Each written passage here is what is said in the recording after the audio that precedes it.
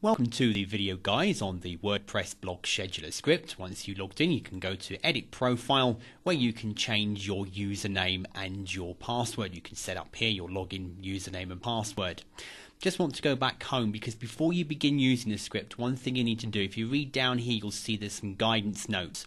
And it says to enable remote posting on a WordPress blog, you need to enable the XMLRPC posting. So what you do is you log into your blog. So I've just got a very basic blog here. It's a brand new blog I've set up just for this purpose to show you on this video. You go to the settings tab inside your WordPress blog. From the settings tab, you want to go to the writing and choose the writing option. And then if you scroll down, you'll see here that you have the option of XML-RPC, enable the WordPress publishing protocol. You check this box for remote publishing and then you hit save changes and it will now allow that type of publishing to your actual blog. The next thing you're going to want to do is actually go to wherever you set up and installed your WordPress blog. So find it on your server. So I've got mine in a folder called WP Demo. You'll see there's a file called xmlrpc.php. You need the full path. That's to be www or http colon forward slash forward slash www.yourdomainname.com forward slash if it's in a subfolder forward slash xmlrpc because you need to put that into your actual blog scheduler script and I'll show you now. If you go into settings you'll see your your your WordPress blog's XML RPC URL file so you need to put a link to the actual file in here.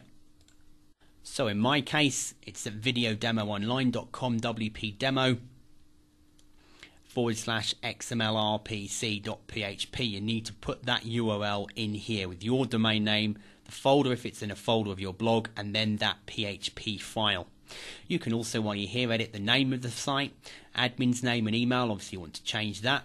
You can edit the language and CSS files if you like to, but I recommend on install you leave these as they are. The username and password.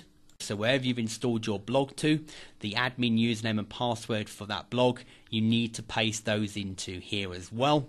And then the frequency of your posting, you can choose whether the post will go daily or weekly from the WordPress blog scheduler. You choose the option here. I'm going to put daily. And then you would go ahead and if you want to make the changes to the footer to have an affiliate link or something, you can put that in here as well. And then you want to just go ahead and update, save your settings. And if you want any prompting in help, you can see down the side column here, you've got prompting on information as well for the script telling you that you need to make sure that the URL, admin and username of the blog is also put in and filled in before you continue. Then you can start setting up posts. You can either import posts that have been pre-written. So you go to import posts. And all you want to do in this case here is have articles ready as a zip file. So I've got some basic text articles here and I've got the zip file here and then I can just browse to my desktop.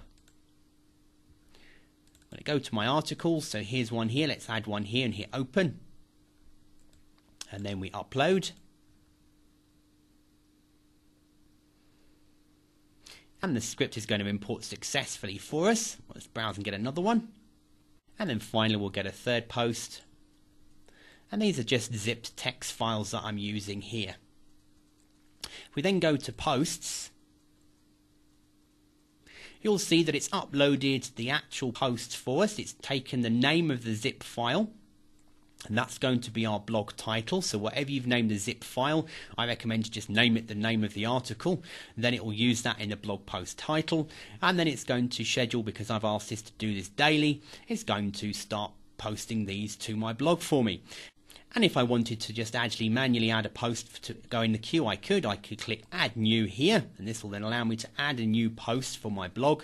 I put in the title, post the contents here, put in any keywords. Now, if I actually take some content, so if I take one of these titles here, let's just take some content here, and let's paste it in, and let's and then if we hit generate it's going to go through the actual article and pull out what it thinks will be used for keywords and you can go editing these if you want to and choose which ones you think should be used as your keywords.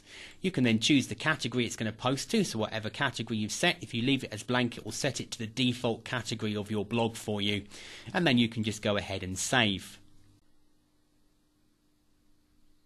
Okay, so we set up in the settings option, we chose to make the frequency daily. What we now need to do is actually set a cron job so that the cron job then connects with the script and then will post on the frequency that you've set inside the blog scheduler.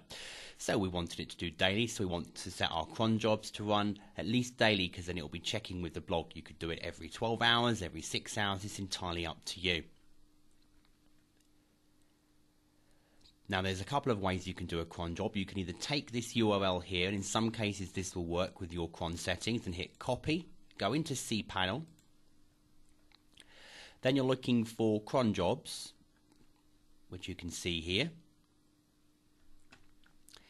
And then you can go ahead and create a new cron job. So here you can see common settings, so we could make it once an hour, twice a day. So we could say twice a day or once a day.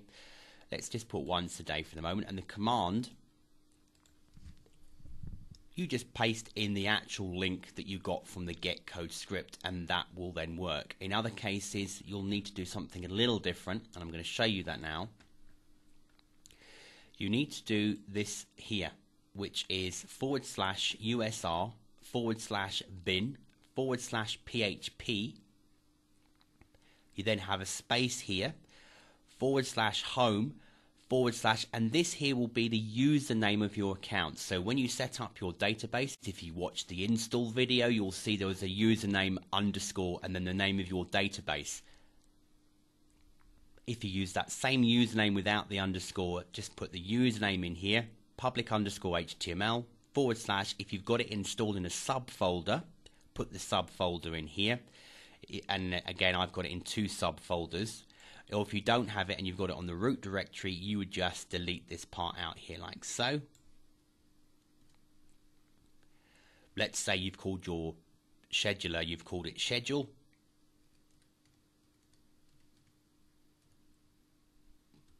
If you put it in that folder, you'd put the folder in there. So it depends on what your folder name is, is what you'll have after the public underscore HTML and then you just want to call the PHP file, which is scheduler.php. You would then copy this whole line as it is, and you just paste it into this box here as the command. So rather than using the HTTP, you'd paste it in like so. And it's check the box to say it's ready. Add the cron job, and then when your script is ready, it will connect with the cron settings and check to see if there's any posts to be sent. In our case, we've done some demo posts. So if we go back to our demo blog, you'll see here that it's posted the posts automatically for us over a period of days. It's added the new posts, one on the 15th and one on the 16th. So it's gone through doing the posts as we requested, and that's how you use the Turbo WP blog scheduler to get posting onto your blogs via the automated script. Thanks for watching.